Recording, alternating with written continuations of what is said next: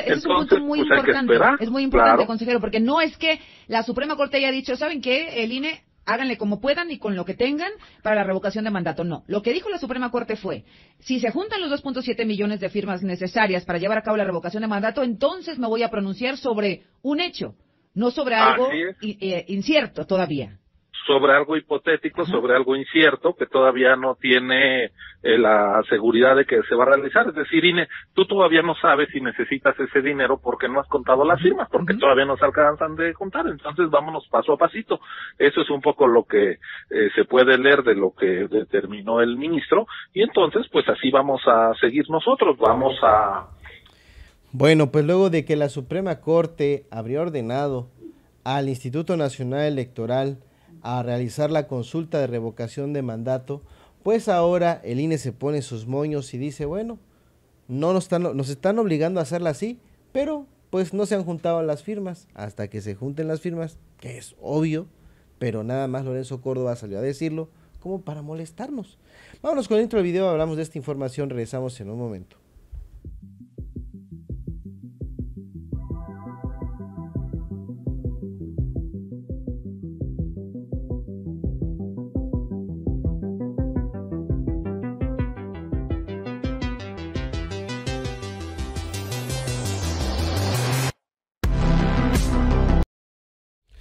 Bienvenidos amigos a una nueva información más. Mi nombre es Jesús Domínguez, reportándoles para Estadística Política.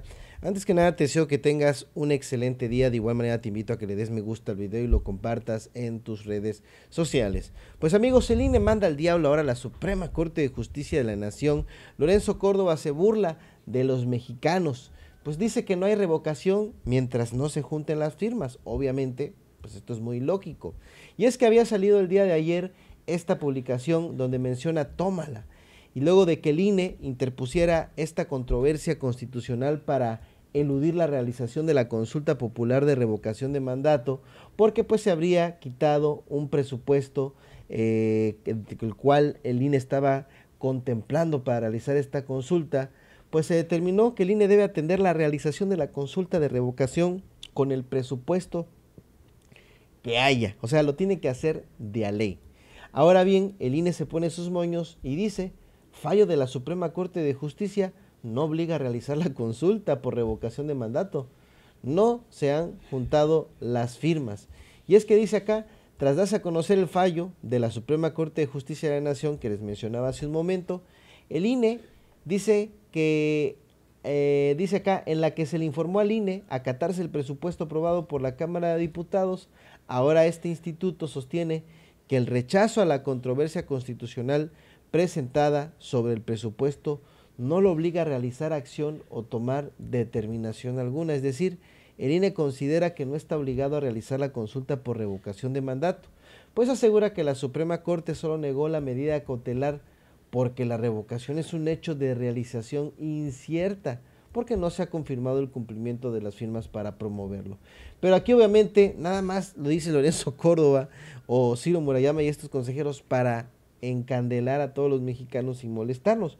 Porque si se llegan a juntar las firmas, la consulta se tiene que hacer sí o sí y con el presupuesto que tengan asignado. Obviamente ahorita pues, no hay consulta porque todavía no se han llenado todas las firmas necesarias, el 3% del padrón electoral. Eso es lo que dice. Aquí lo dice, el INE señala que el acuerdo de la Corte es explícito en señalar.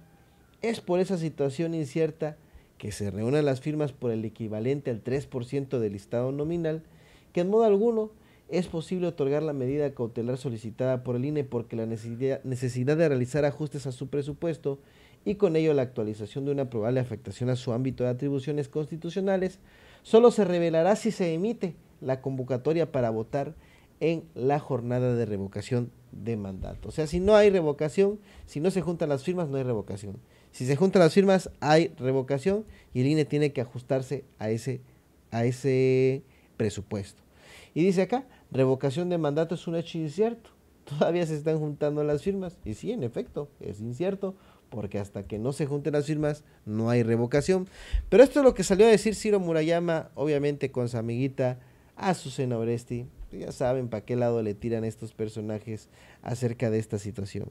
Vamos a escuchar a continuación difícil que se pudiera llevar a cabo la revocación de mandato con menos recursos que los que habían solicitado, porque evidentemente es como organizar una, elección federal, con todas las casillas, con todos los funcionarios, con todo lo que requiere. ¿Qué fue lo que determinó ayer la Suprema Corte? Es decir, ¿ya se acabó el asunto? ¿Ustedes tienen que ajustar su presupuesto o todavía hay un camino por recorrer, Ciro?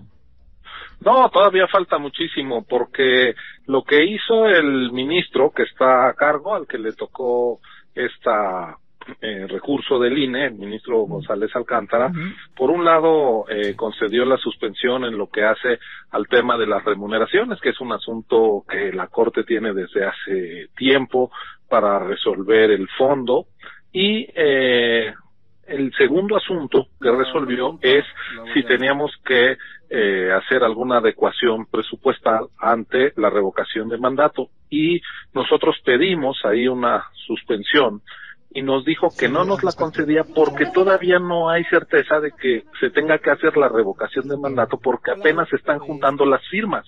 Dice, es un hecho eh, futuro de realización incierta, entonces, mientras no esté claro que se junten las firmas, la Corte no se va a pronunciar sobre este asunto. Es que ese, es un punto muy pues, importante. Es muy importante, consejero, porque no es que la Suprema Corte haya dicho, ¿saben qué? El INE háganle como puedan y con lo que tengan para la revocación de mandato. No, lo que dijo la Suprema Corte fue, si se juntan los 2.7 millones de firmas necesarias para llevar a cabo la revocación de mandato, entonces me voy a pronunciar sobre un hecho, no sobre algo eh, incierto todavía sobre algo hipotético, sobre algo incierto, que todavía no tiene eh, la seguridad de que se va a realizar. Es decir, Ine, tú todavía no sabes si necesitas ese dinero porque no has contado las firmas, porque todavía no se alcanzan de contar. Entonces, vámonos paso a pasito.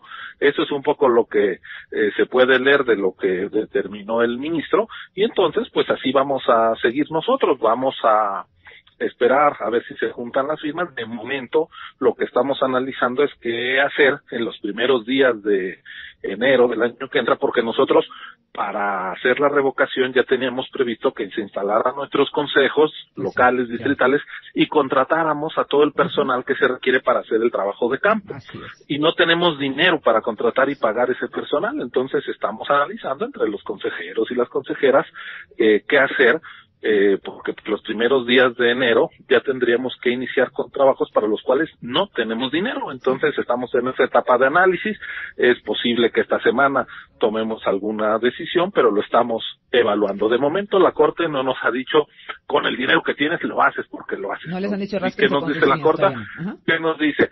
todavía ni siquiera es seguro que se haga, entonces espérate. Oiga, consejero, el consejero de línea Ciro Murayama. Entonces, de aquí al 25 de diciembre ustedes siguen recibiendo eh, Vean cómo cínico Ciro Murayama. Obviamente es obvio, es correcto lo que dice, no lo voy a negar, pero lo dice con esa hazaña, ¿no? De que, pues ok, es incierto porque la consulta solo se va a dar si se juntan las firmas. Si no se juntan las firmas, no hay consulta y por lo tanto, pues el presupuesto pues no debe de darse o no debe de juntarse porque ya no se va a gastar el dinero en eso.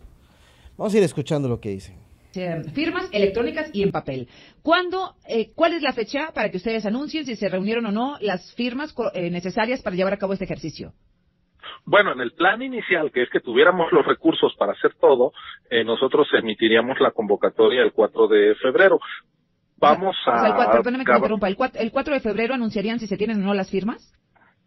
Si se tienen, el 4 de febrero lanzaríamos la convocatoria para que la votación fuera el 10 de abril pero pues como no tenemos, primero vamos a esperar a ver si se juntan y entonces será en algún momento de enero eh, hacia el final de enero, es que nos están entregando millones de hojas y hay que capturarlas una a una y ver si lo que está en esas hojas corresponde con los datos del padrón electoral. Entonces, pues tenemos a cientos de personas trabajando 24 horas del día capturando estos millones de, de papeles que nos están entregando en cajas. Entonces, pues ahí, en cuanto acabemos, que será este hacia la segunda mitad 30 de enero, pues ya diremos si se juntaron o no las firmas. Correcto. Y eh, si de juntarse las firmas, pues tendríamos que evaluar si tenemos eh, dinero o no. De momento no lo tenemos, no tenemos esos recursos y puede ser que en ese momento la Corte ya tenga elementos para pronunciarse sobre lo que el ministro, yo creo que con razón, dijo, pues ah, es muy temprano, ni siquiera sabes si las tienes que hacer, entonces pues primero cuenta las firmas y luego vemos que sigue. Que también los pone ustedes en una, en una situación bien complicada, consejero, porque de todas formas la gente que está revisando las firmas pues come y se le paga y, genera... No, para eso sí tenemos, ya hicimos la adecuación presupuestal, son alrededor de 13 millones de pesos lo, que, nos vamos a gastar en todo el proceso de eh, pues de, procesar las, las firmas, ¿no? Entonces eso ya está cubierto, eh, ya se está trabajando desde este año en eso y vamos a seguir los primeros días del año que entra y esa etapa pues va a, concluir con los eh, asignaciones presupuestales que hicimos, que aprobamos apenas incluso el viernes de la semana pasada. Nosotros hemos dicho, tenemos 1.503 millones de pesos para la revocación, incluyendo lo de las firmas, pero necesitamos 3.830, nos faltan todavía más de 2.300 millones de pesos y para decirlo muy francamente, Azucena, la capacitación para instalar 161 mil casillas que implica visitar en su casa a 12 millones de ciudadanos cuesta 1.800 millones, es decir, ni siquiera tenemos para hacer el trabajo de campo. Si no hay trabajo de campo y no visitamos a la gente, pues no hay posibilidad de instalar casillas y si no hay casillas no hay votación. Esa es la situación extrema en la que nos colocó la Cámara de Diputados con este desmedido recorte que nos hizo. Entonces, consejero, no adelantar vísperas, digamos en la segunda semana de enero ustedes sabrán si se tienen las firmas o no y entonces la Suprema Corte echará a andar eh, eh, la decisión de si la Cámara de Diputados les tienen que reasignar los recursos que les faltan o tienen que seguir con los recursos que ustedes tengan. Pero aún esa decisión no está tomada.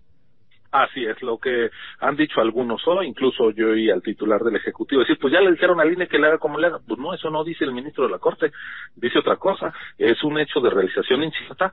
Primero espérense que se junten las firmas y luego nos pronunciamos. Bueno, pues vamos a contar las firmas. No tienen que poner una nueva impugnación, no tienen que impugnar de nuevo. ¿Es la misma que va a seguir un procedimiento en enero en la Suprema?